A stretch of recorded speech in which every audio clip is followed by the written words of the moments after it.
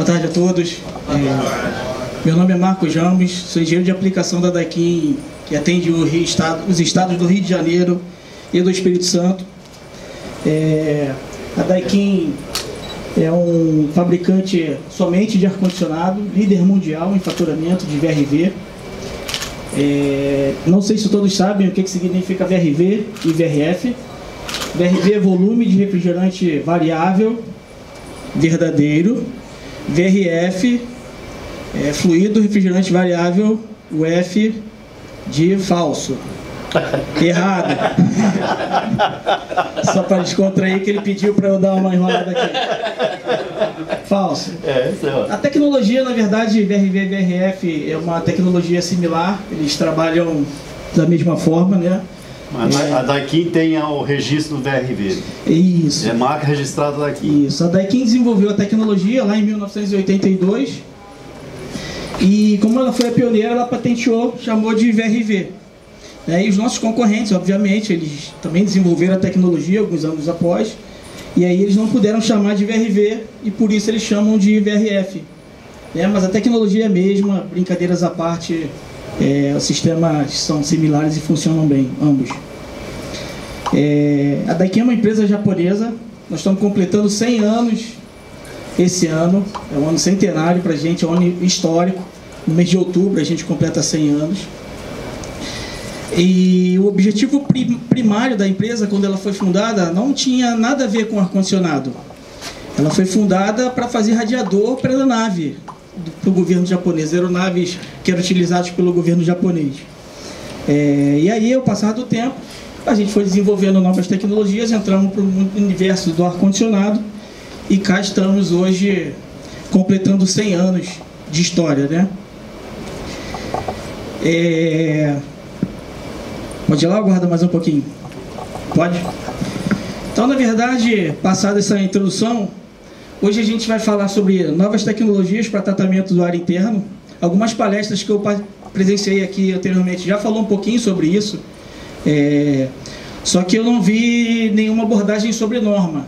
Então, a gente, para a gente poder contextualizar, a gente vai falar um pouquinho dos principais tópicos que as normas brasileiras é, elas falam, para poder depois informar como nós podemos atuar, quais as tecnologias existentes no momento que vai é, conseguir atender as normas. Opa. Então aqui, como é que vai ser baseada a nossa apresentação? É, vamos fazer uma pequena introdução, depois nós vamos falar quais são os pilares da qualidade do ar interior, né? diluição, retenção, medição e eliminação. Então aqui uma breve definição, o ar atmosférico ele é formado pela mistura de vários gases, como nitrogênio, oxigênio, ozônio, dióxido de carbono, gases nobres, enfim. E ainda há presente no ar uma, um vapor d'água, que a gente chama de umidade. Né? Todo mundo sabe que existe umidade e que existe o calor latente e o calor sensível. Então, na definição já é descrito isso. E nós, a maioria de nós já está ciente de que a poluição do ar externo pode afetar a nossa saúde. Talvez nem todos saibam que a qualidade do ar interno ela é mais importante para a nossa saúde do que a qualidade do ar externo. Porque, como já foi dito até numa palestra aqui antes, a gente passa 90% do nosso tempo durante a nossa vida em ambientes fechados, enclausurados, né? Se a gente não tiver uma boa renovação de ar, o que, que vai acontecer com a gente? A gente vai ficar doente? Já falaram sobre a síndrome do prédio doente? É uma das possíveis consequências dessa baixa qualidade do ar. E aqui alguns impactos. Redução do desempenho de profissionais. Por exemplo, é, quando a gente tem uma baixa taxa de oxigenação no, no ambiente, a gente perde um pouco das nossas funções cognitivas. Isso é estudo científico. É, se não tiver um controle de umidade, é, pode deteriorar, deteriorar a infraestrutura física do equipamento, ou seja, pode dar mofo, pode dar algum tipo de, de problema dessa característica, como também já foi falado aqui. É, em função disso, tem risco de fechamento de empresa ou realocação do escopo ocupante. Ninguém vai trabalhar num ambiente onde tenha um foco de mofo, onde tenha uma concentração de ácaro, que a gente consegue ver olho nu. Ninguém vai trabalhar nesse ambiente. e aí a gente vai falar com a gerência, a direção da empresa, para poder fazer a realocação ou até mesmo o fechamento daquele ponto na empresa. Com isso, vai ocorrer com certeza discordância nas relações de administração da empresa e funcionário. O funcionário não quer trabalhar naquele ambiente porque está insalubre. Ou o funcionário quer ganhar insalubridade. E aí a administração da empresa não quer. E aí a gente entra nesse mérito de debate se é certo ou não, na discordância na relação entre administração e empresa. E isso, consequentemente, vai gerar uma publicidade negativa. Qual é o funcionário ou qual é o cliente que vai querer fechar negócio com uma empresa que não zele pelos seus funcionários, pela saúde, pela qualidade de vida dos seus funcionários? É um, é um outro aspecto, né? E por fim, e não, não menos importante, problema de responsabilidade legal. Se um colaborador já percebe que tem esse tipo de problema no seu ambiente, ele sai da empresa, ele aciona a empresa na justiça, é um problema legal. E se ele contrata e tem um perito que vai constatar que tem aquele problema na empresa, a empresa vai perder a sua causa na justiça e vai ter que pagar a indenização ao seu ex-colaborador. Então veja, quantos impactos negativos a gente tem só falando de qualidade do ar interior, mais nada, a gente está falando mais nada além de qualidade do ar interior. Então é um tema muito relevante, sem citar aqui o, o nosso amigo Dabelino, que falou também muito bem aqui sobre é, ácaros, coisas de saúde que podem ser afetados pela baixa qualidade do ar. Isso é um dado empírico, a gente não pode trabalhar com isso. A gente precisa trabalhar com os dados que nós temos, que a nossa sociedade, que o nosso governo é, impõe através de estudos científicos. Então, aqui nós temos as principais normas brasileiras que falam sobre a qualidade do interior. Nós temos a 17037, que fala especificamente sobre qualidade do interior em ambientes não residenciais climatizados artificialmente. Essa norma, ela chama uma outra norma, faz menção uma outra norma 16401, é, instalações de ar-condicionado, onde na parte 3 fala sobre qualidade do ar interior. Então são temas pontuais que a gente precisa atender, né? Nós temos a, a BNT NBR 16890, onde ela fala sobre filtros de ar para ventilação em geral, onde o ar-condicionado está inserido. E também nós temos a famosa 7256, que é para tratamento de estabelecimentos assistenciais de saúde, ou seja, área hospitalar, que é uma área muito crítica. É, a gente tem pacientes ali com cirurgia, que a gente, se deixar a umidade muito alta ou muito baixa, ele pode vir a óbito só em função da baixa qualidade do ar interior. Então a gente precisa é, ter muita atenção a essas normas, porque elas são o, os pilares para a gente se balizar como nós fomos fazer a nossa solução né, de engenharia. E o que, que diz a 17037? No item 4, requisitos gerais, ela fala que a qualidade do ar interior é em função da qualidade do ar externo. Essa norma, na versão passada, ela não citava isso nominalmente.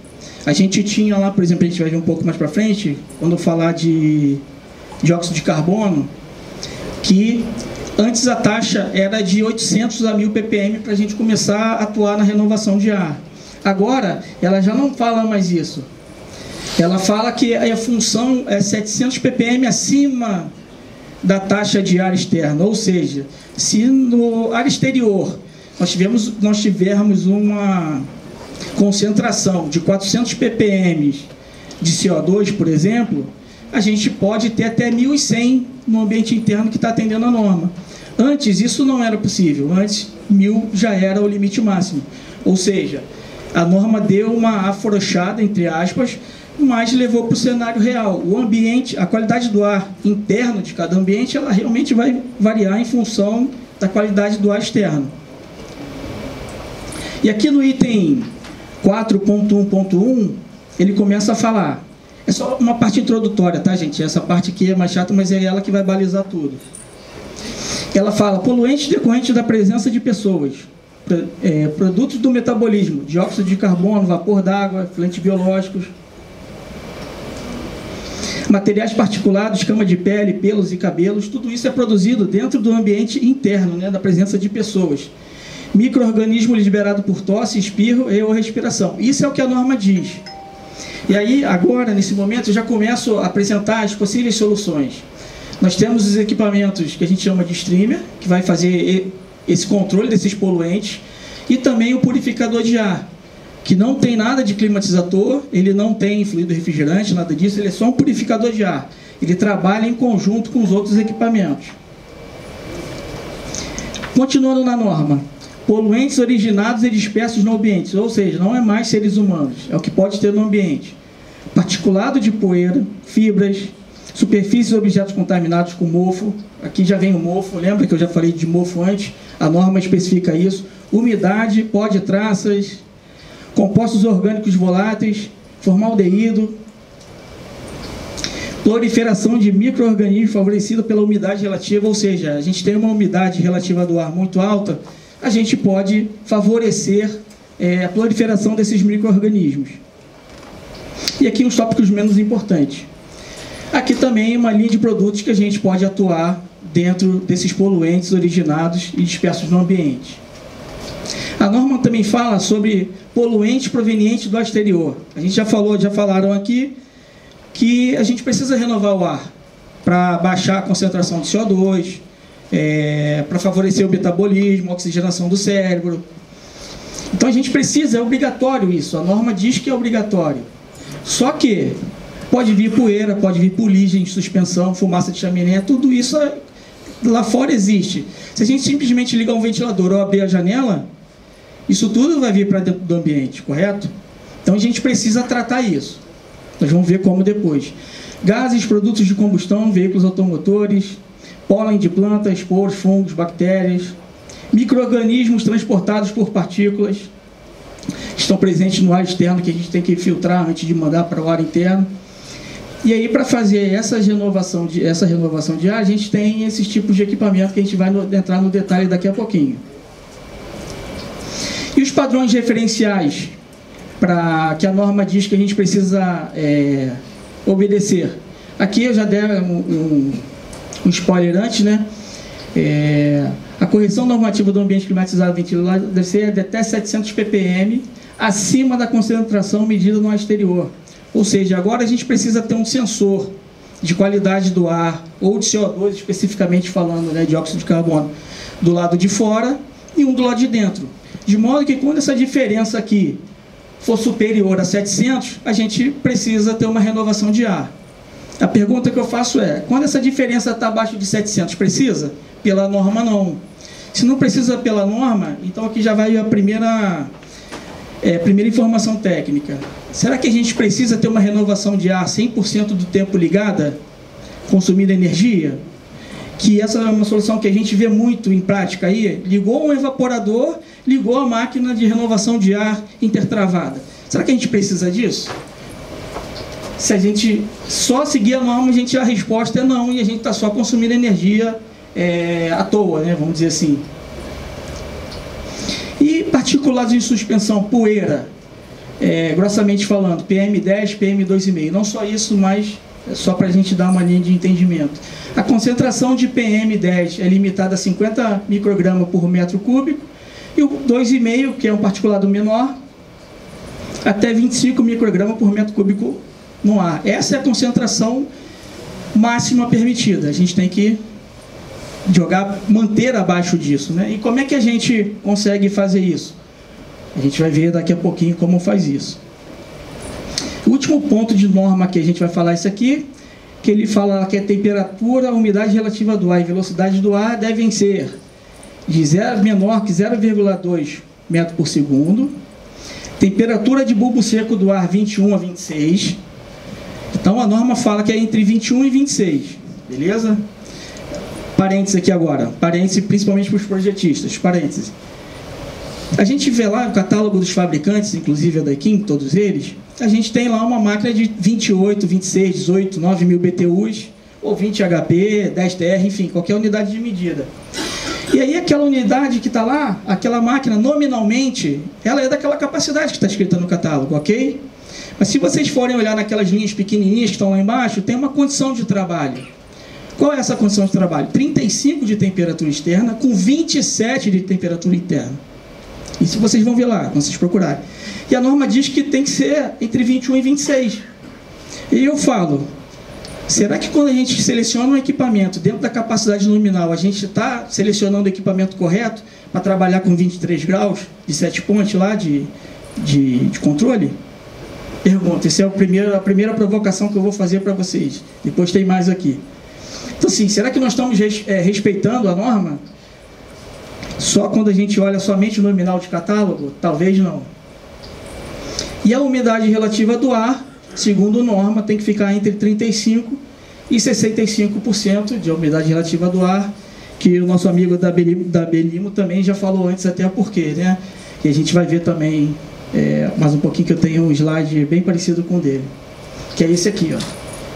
Por que, que a norma diz que tem que ser entre 35% e 65%? Porque seria essa área de zona ótima aqui, ó. É a, é a área onde diminui a proliferação de bactérias, elas não conseguem sobreviver muito tempo nessa zona. Os vírus, os fungos, os fungos eles gostam muito de umidade, né? Quando a gente tem umidade aqui, ó, 90, 100%, eles adoram, eles sobre, só sobrevivem né, sob essas características. Os ácaros, idem. Né, infecções respiratórias e a rinite alérgica e a asma, que é a mais difícil, porque eles sobrevivem numa faixa muito grande de umidade. Então, por isso é que a norma especificou lá 35, porque está dentro dessa zona ótima aqui. Agora, o nosso segundo tópico é, são os pilares da qualidade do ar. A gente precisa diluir o ar. O que é diluir o ar? É tirar a concentração daqueles atuar quando a gente mede. Né? Já falou aqui do CO2 que tem que ter entre 700 entre a externo, o ar externo e o interno. Como é que a gente vai saber? O nosso corpo não tem sensor de umidade. O nosso corpo não tem sensor de temperatura exato para a gente saber qual é a temperatura. O nosso corpo não tem sensor de CO2. Então a gente precisa recorrer a dispositivos eletroeletrônicos para fazer esse sensoriamento, para dizer para a gente quanto está e depois a gente atuar. E o último pilar é o eliminar. Então a gente mediu, a gente já sabe que tá, o ambiente não está ok, está acima do que a norma permite, e a gente precisa fazer o quê? A gente precisa eliminar, e aí a gente vai eliminar com a tecnologia streamer que a gente vai ver no detalhe mais um pouquinho para frente. Então a gente vai entrar no detalhe em cada um desses tópicos aqui. Ó. Esse aqui é um sistema básico de renovação de ar. Né? A gente tem duas unidades internas, é, climatizando aqui, conforto térmico dentro desse ambiente, só que esse ambiente está saturado de CO2. Então a gente precisa fazer o quê? Pegar esse ar externo e jogar para dentro do ambiente, fornecimento de externo. Assim que a gente faz uma renovação básica, né? bem básico. É, claro, respeitando aqui os filtros para evitar que entre as impurezas lá, fuligem, né? enfim, e o que, que tem de novo nisso? A única informação nova que tem nesse sistema aqui é esse carinha aqui. Ó. Esse aqui é um carinha, um sensor de CO2, que a gente pode acoplar diretamente nessa unidade aqui, de modo que a unidade vai trabalhar automaticamente. Não precisa ninguém ligar o evaporador, a renovação de ar, e nem vai ficar ligado 100% do tempo. Só vai ficar ligado quando esse sensor aqui mandar ligar. Ou seja, além da renovação de ar, a gente também tem a questão do é, redução do consumo de energia para essa solução. É a única? Não, não é a única. Depois a gente vai ver a outra. Características desse equipamento. Aqui as capacidades de cada uma delas, vazão de ar. Você vê que tem várias vazões possíveis para diferentes é, tamanhos de ambiente que a gente vai querer renovar o ar. E a pressão estática, que é muito importante. Porque a gente sabe que tem a perda de carga dos dutos. Então essa máquina ela precisa ser capaz de vencer essa perda de carga do, do, dos dutos. Então a gente informa aqui as pressões estáticas disponíveis em cada modelo. E os filtros? Os filtros estão tá aqui. Eu posso usar um filtro G4 nessa máquina aqui para renovação de ar? Sim, posso usar um filtro G4, porque ele tem uma queda de pressão inicial de 10 e o máximo de 150. Como ele tem 200, ainda vai ficar com 50 pascals aí pra, de perda de carga possível em função dos dutos.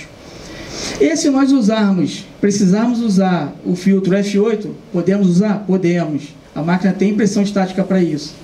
Porque a queda de pressão inicial é de 27 pascal, pascais e 98 final. Ou seja, essa pressão estática externa disponível atende tanto o filtro G4 quanto o filtro F8. E o tempo de vida útil estipulado pela Daikin é de 1.250 horas, dependendo da utilização, seis meses. Tá? Essa é a informação de catálogo do fabricante. E a outra solução para dilu diluição desse ar aí, para renovação de ar, é a máquina que a gente chama de recuperador de calor. Ela, a função dela é muito parecida com a outra, só que ela é um pouco mais inteligente e ela consegue economizar bem mais energia. Como? Nós temos aqui ó, o ar externo, ele passa, aqui é um trocador de calor, então ele passa, passa no trocador de calor e vem para o ambiente, ok? 35 graus nesse exemplo aqui, ó, 35 graus. Só que o ar aqui dentro está quanto? 23 graus, 22 graus, 21 graus, a temperatura que o cliente setou lá. A gente precisa jogar esse ar para fora. A gente pode abrir a janela e jogar o ar para fora? Não.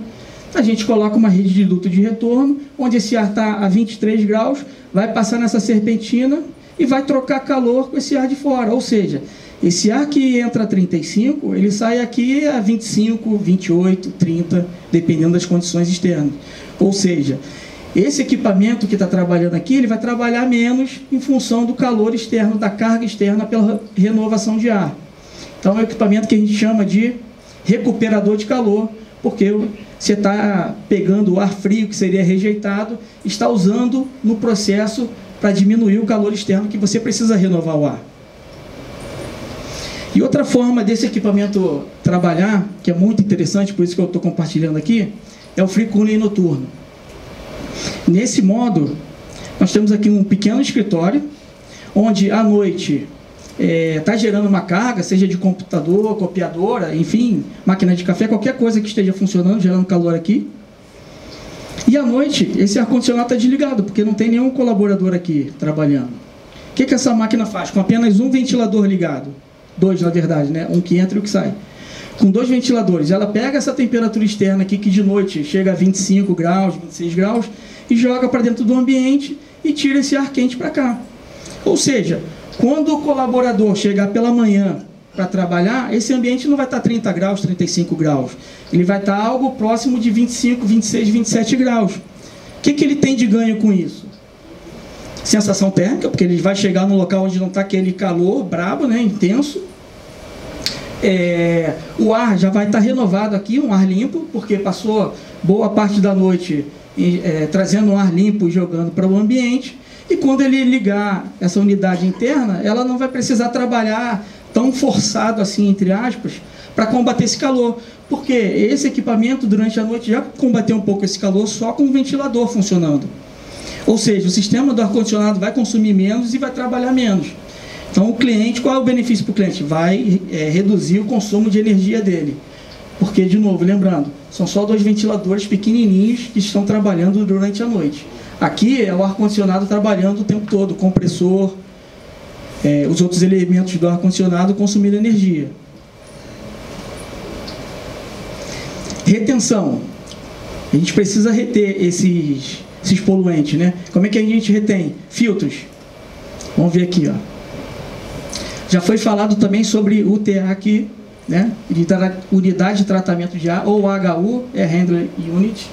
É, esses equipamentos são equipamentos maiores que eles podem trabalhar nesse exemplo aqui, ó, como uma máquina de conforto padrão, só que de maior capacidade, sendo controlado pelo sensor de temperatura ambiente ou pelo sensor de umidade relativa também presente no ambiente. Qual o diferencial dele? Filtragem. Por essa máquina aqui ser especial, a gente já viu até uma construção de uma aqui, da, da colega que falou anteriormente, a gente pode colocar até filtro EPA aqui. Se a gente tiver necessidade de trabalhar no hospital, por exemplo, que seja necessário um filtro EPA, esse equipamento consegue fazer essa classe de filtragem, porque você pode colocar um motor eletrônico ali, está tudo bem. Ele consegue vencer essa perda de carga gerada pelo filtro.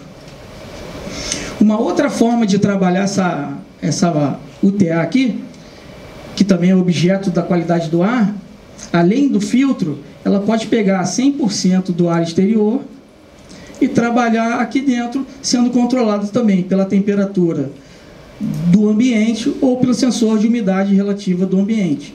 Esses dois sensores vão mandar a válvula de expansão abrir ou vai mandar é, a resistência de aquecimento para controlar a umidade a funcionar nesse, nesse, nesse ambiente aqui. Normalmente, essa aplicação ela não é desse tipo só com esse equipamento 100% exterior. Porque, se assim fosse, a gente precisaria é, calcular essa máquina para combater esse calor, mesmo quando a temperatura externa fosse de 40 graus. Ou seja, a gente vai acabar dimensionando esse, essa unidade interna aqui, essa UTA, de uma forma muito grande, vai ficar cara, grande, fisicamente falando, e vai passar a maior parte do tempo trabalhando sem necessidade. Então, é, é, é esse tipo de solução, ele não é muito utilizado sozinho, deveria ter aqui uma outra unidade interna para fazer o controle do ambiente. Seguindo, medição. A gente precisa medir a quantidade desses poluentes no ar para poder controlar. Como a gente faz isso? Sensor IAQ. Também já foi falado de alguns sensores aqui antes, e aí é bom que já, já pega o gancho. A Daikin tem esse sensor aqui, que a gente chama de IAQ, Internal Air Quality, né? É, que ele faz o monitoramento de cinco diferentes medidas da qualidade do ar. Quais são essas cinco unidades de medida? Temperatura, umidade, PM2,5, TVOC, que são os voláteis, né? E CO2. Então, um sensor só tem, essas, tem esses cinco sensores dentro dele. Essas informações aqui, quando elas são medidas, elas são passadas para automação, que é esse dispositivo REIR aqui, e você consegue acessar, ver essas informações em tempo real, no seu celular, no seu tablet, na tela do computador, em qualquer dispositivo que você esteja usando na rede. Ou até mesmo fazer intertravamentos. Lembra que eu falei já um pouquinho para fazer o intertravamento? Esse rei está recebendo a informação do IAQ e vi constatou que o CO2 em uma determinada sala está 900 ppm acima do medido externo. Então, automaticamente, sem intervenção de ninguém, o sistema vai ligar a renovação de ar. Quando esse delta aqui diminuir, ele vai e desliga para poder economizar energia. Você consegue no sistema aí medir o diferencial? Botar um sensor de CO2 externa e criar uma lógica? Pra... Sim, sim, sim. Nesse exemplo aqui é exatamente isso. Aqui não está ilustrado aqui o sensor externo, né? Mas você tendo o sensor externo em qualquer ponto da instalação, você traz ele para de, dentro do, do RAID aqui, ele está medindo isso. Você tem lá no, no, na automação, você sabe que aquele sensor é o externo. E aí você pode pegar qualquer um, você pode ter N, 30, 32 na tua rede e comparar qualquer um desses 32 com o externo. E aí você faz aquela lógica de ligar ou não o ventilador individual, seja por ambiente, seja um, uma quantidade de ambiente, mas dá para fazer sim. Na verdade, a norma atual diz para a gente fazer isso, né? Você pode gerar gráfico de tendência para você monitorar qual, quando foi que a tua umidade teve alta ou baixa, a tua concentração de CO2 teve mais alta, teve mais baixa. E aqui um outro exemplo de intertravamento só que aqui controle de umidade. Esse sensor tem o sensor de umidade no ambiente. Então, em função desse sensor, você pode criar uma lógica na automação para acionar uma resistência, uma serpentina de água quente para você fazer o controle da umidade dentro do ambiente. Tudo isso você já consegue fazer só utilizando esses dois componentes aqui, com custo bem mais baixo do que se você fosse fazer com uma automação mais elaborada. por último aqui, eliminação. Né? A gente já mediu, a gente já reteve, a gente já diluiu e agora a gente precisa eliminar. Como é que a gente elimina isso? Com a tecnologia streamer. E o que é a tecnologia streamer?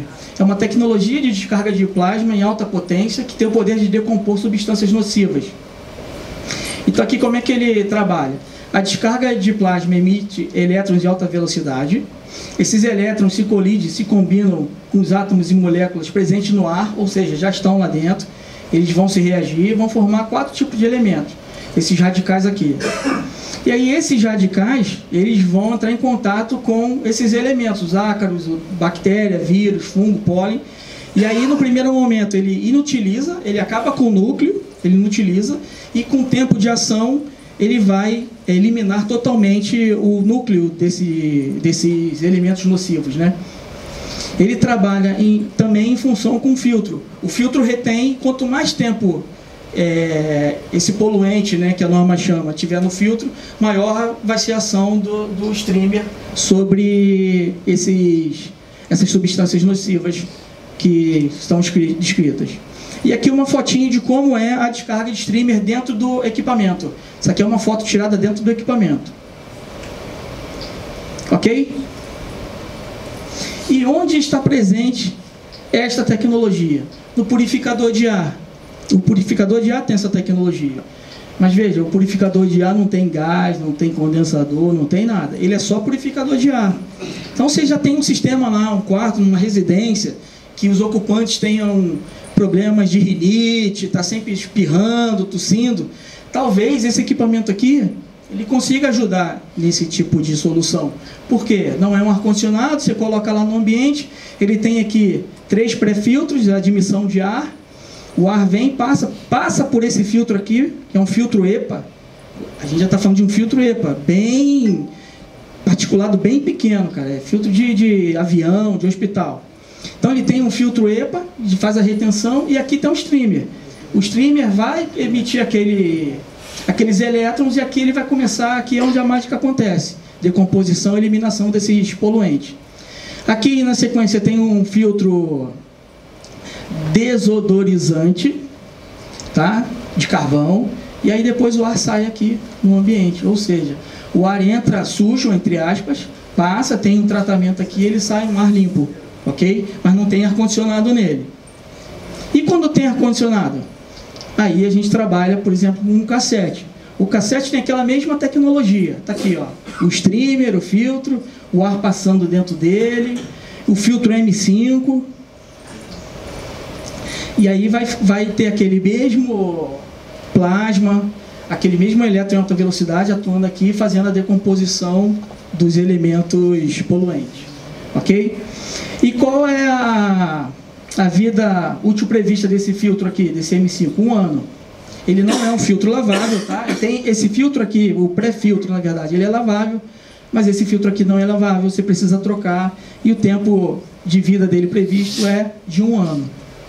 Um outro detalhe importante é o seguinte: eu já tenho um cassete na minha obra, um cassete da Daikin alguma obra instalada. Eu posso somente colocar o streamer? Sim, você pode, sem problema algum, desde que você tenha 10 centímetros ali para colocar essa câmara aqui. A, câmara, a altura dessa câmera é 10 centímetros. Então, se você tiver 10 centímetros para cima de entreforro, você pode aplicar essa solução numa obra já existente, sem problema nenhum seja ela de VRV, seja ela de split cassete da Daikin. 10 centímetros de altura, lá de entreforro.